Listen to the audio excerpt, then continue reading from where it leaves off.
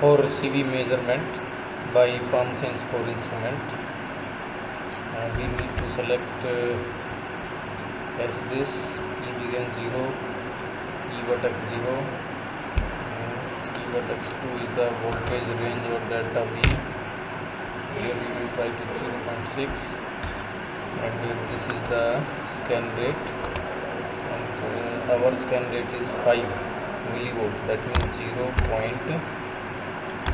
0.005